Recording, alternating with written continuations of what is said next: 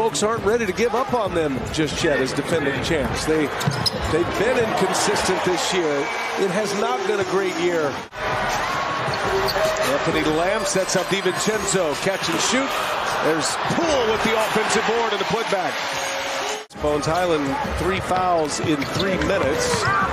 As Poole, nice move. And the little push shot to the basket. Thompson wants to push. Here's Jordan Poole, left open, side step, and that one's good. Jordan Poole, a splash down.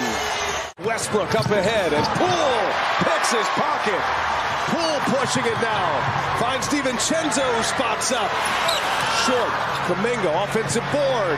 Jordan Poole, finally the Warriors see one go through. Got Thompson on him, the mismatch. And a strip down by Thompson. He forces a turnover.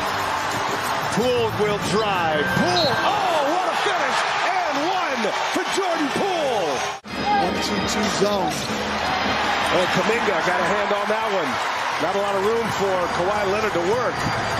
Another Clipper turnover, and Poole turns it into three. Want to get a two for one here. Poole short. And Poole saves it.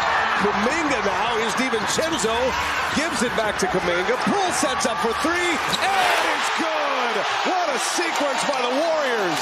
These last two games, turnovers again becoming a major problem.